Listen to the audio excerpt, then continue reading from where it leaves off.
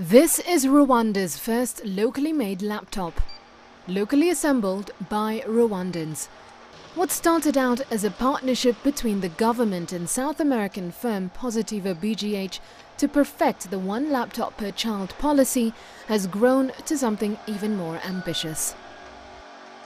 The firm is now also producing laptops for students at the university level and is soon to introduce more advanced processes targeting professionals.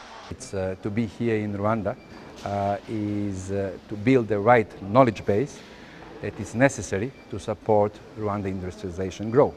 Uh, second, uh, we are building the right credentials through the uh, technology transfer that further will support Positivo BGH growth and support growth of the other similar industries. Uh, and on the end, uh, uh, we are very proud that in a collaboration with the University of Rwanda, our facility will be open for any kind of research and theses that are required to be done by the students.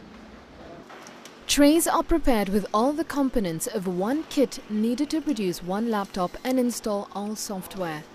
Once assembled, the machines then undergo a series of thorough tests. So far, the plant produces around 800 laptops per day, but is looking to expand. We have two lines. Our capability of the, this product, this uh, plant is uh, two lines of 20 employees in each line, so we can produce 1,600 uh, per day. The company has also collaborated with the University of Rwanda opening up their facility for any kind of research and thesis required to be done by ICT students. Okay, and aside from ICT, what else uh, is Positivo working on? Uh, looking forward, uh, Positivo BGH in Rwanda, uh, a part of the educational and IT, ICT devices, is ready uh, to support also IoT market, Internet of Things. And in that uh, matter, we are ready from next year to deliver uh, uh, such a device. It's an electronic billing machine that supports the real-time uh, tax collection.